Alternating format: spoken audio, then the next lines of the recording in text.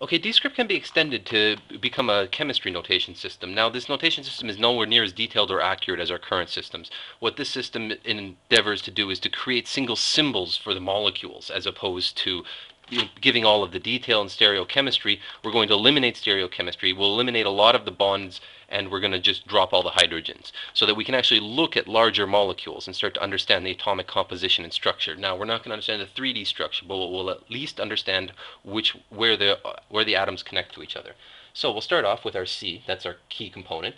The Dscript C looks like so, but we'll allow it to rotate into any any direction. Now this will eliminate some other letters from Dscript. This is the Dscript D and this is the Dscript H. In the chemistry form, we're going to drop these completely and we'll allow the C to rotate into any direction. Now once you've got a C, it can connect to anything you like here, here, or here. And if you need four bonds, we'll just extend it. This is the Dscript L. We'll drop that letter from the alphabet as well, and we'll allow four connection points. We've got a carbon that's got four connection points, which is perfect. The next thing we have is a nitrogen. Now the nitrogen, we'll use the N, which is a loop. Now normally this would be an M, but we'll eliminate the M and allow the N to loop the, the N to go in any direction. Uh, as, as you see, you've got one, two connection points, and we'll add our third here. So if you need a third connection point, you just connect off of the top of the loop. And boom, we've got th three connection points for our nitrogen. Perfect again. Oxygen, well, it's a circle. We got as many connection points as we really need. Uh, it stays the same as it really is, and it's excellent. It can connect off in any direction you like. So it's a very flexible one. In fact, it would be better maybe to be the C, but we'll leave it like that for now. So P. Uh, this is the Dscript P.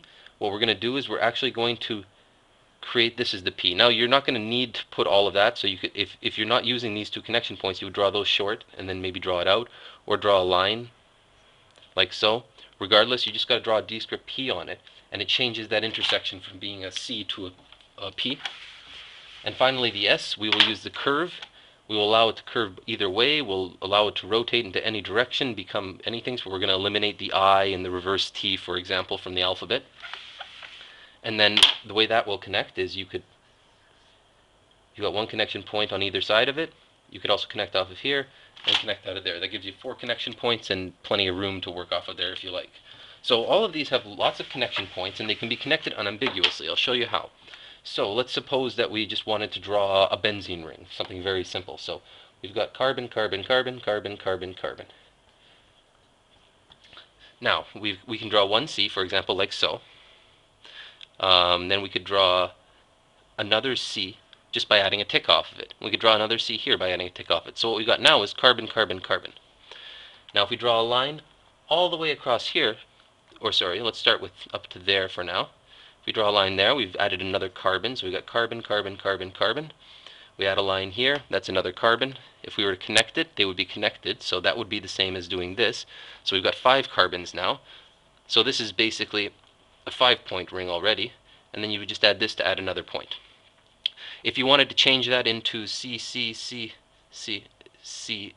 for example, well, first of all, let's we can drop this, and that brings it down to 5. And now if we wanted to switch this to an N, we could do so. So that would give us another common ring we're going to be working with in our biochemistry.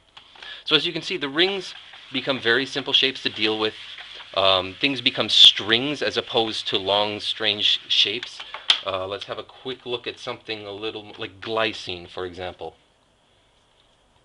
This is a simple amino acid. This will be, give an excellent example. So, all amino acids start out with OOH, C, right? So, what that would be is C, O, O. Now, we'll assume if you were looking at this, you wouldn't quite know whether there's a double bond or not. And the truth is, with this molecule, sometimes it's half shared, and sometimes there's a double bond on either. You could put it either side you like.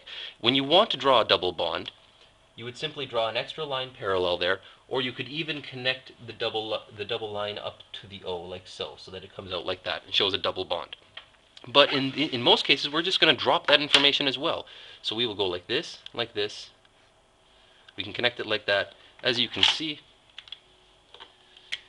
here we have our C, and then we have our O, and our O. And that is a great head to our amino acid. So when we'll leave the other information, we'll just assume that you know that at this point, these are either sharing or they're, they're an amino acid ending.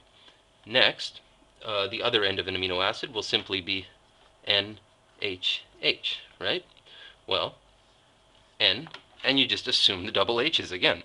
So what we've done is we've eliminated almost all of the useless information, and we can now draw this amino acid very quickly, like so. That is it. This is glycine.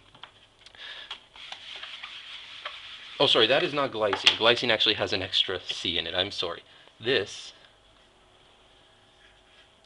is glycine. Or you can put the C dash on the other side, or however you like.